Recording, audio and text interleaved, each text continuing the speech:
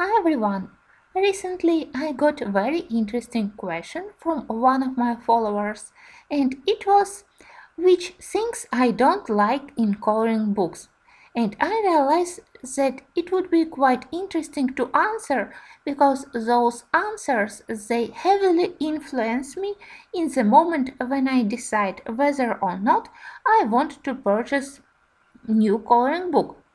Disclaimer I know that each of us is quite individual, and if I don't like something, it's perfectly okay if you like this thing in coloring books. And second, even if I have shown some of the coloring books in this video about dislikes, it doesn't mean that I don't like the book in general or that I don't plan to color in these books. It's just some moments. So let's start from the first one. I don't like glued bindings and especially when it combined with perforation. Here I have my first coloring book which I purchased as a start of my coloring book hobby and it's very precious for me. But unfortunately it has glued binding and also quite heavy perforation so all pages and they are two-sided. They constantly risk to fall out and I am even afraid to open this book. And it's a constant problem for me. I think that I would be coloring in this book much more frequently if not this binding.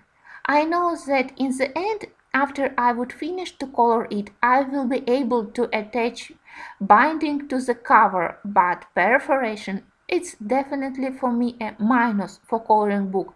And it's fun that sometimes when I read reviews on Amazon about books, many people complain that books don't have perforation and for them it's a fault of the book. And for me it's an advantage. I think that if I want I always can cut page using knife, but perforation definitely isn't my thing. Next point is quite obvious and it's very thin, almost transparent paper. Here is the book by Selina Fenech and you know how much I adore designs by Selina, but sometimes paper in her books is absolutely shitty. I'm sorry. I can't stand when I can see through the page uh, black lines on the next page. Yes, I know that I can put a white sheet of paper under it, but still I definitely prefer don't purchase books with such paper, only if they have beautiful designs. Next complaint is again about paper. In this book, paper is thin, soft and with very strange tooth, so I still don't know how it's possible to cover big areas, especially like background. It's not so bad when we have detailed pictures, but if we have images like this one, where we need somehow to cover background and we can't use neocolors, watercolors or even acrylic paints, I think, I definitely think that it's a huge problem. So if book is printed on a very thin paper, I try to look if designs are very detailed and I don't need to fill in the background, then maybe I would purchase such a book, but definitely soft and thin paper with strange tools also isn't my thing. Next, I don't like very heavy gray-scaled coloring books. I know that many people color grayscale books and end results are beautiful and look very professional. But for me, and it's very individual, but I simply don't feel any interest in interest to color such pictures when all shading is already indicated. And I think that if, when already even background is filled in with gray scales, the final image looks dirty. At least I tried to color similar images couple of times and I was extremely unhappy with the result. I prefer my pictures to be line art, so I am not interested in grayscale books. Next thing which uh, disappoint me a little bit in coloring books, even if I am a huge fan of Daria Song art, it's when parts of a very detailed image is lost inside the binding. I also have couple of books where I have picture of an animal on the spread and due to this very tight binding, part of the center of the animal's head is lost inside the binding or where left and right parts are not totally match due to this very tight binding. I think that if you create book with a lot of spreads in it you definitely have to create book with not glued but sewed binding and also it's better to leave some white space between two pages. Sometimes it's really very difficult to get to this part inside um, of the binding in order to color this area of the page which is very close to it. And when you color the whole spread you definitely don't want to have uncolored areas in the center. So pictures on the spreads have to have very nice bindings next thing which I don't like in coloring books it's when coloring book has a lot of uh, page fillers I don't know how to explain it better, but it's a page with a very simplified design which is not very interesting to color. Honestly, I don't know who would be interested to color page like this one. And I feel like artists simply uh, didn't want to work for a day or uh, other day more and to create a really interesting image to insert into book and I can compare this book to other books with the same price and which have interesting designs on each of the pages. So if book has a lot of such simplified page fillers, I definitely won't be purchasing it. And the second point is when images have a lot of um, multiplied digitally copied images. Look at those horrible clouds. I love the board here mm, and maybe I would color this page, but I absolutely hate those clouds. They transform adult coloring book into something for children.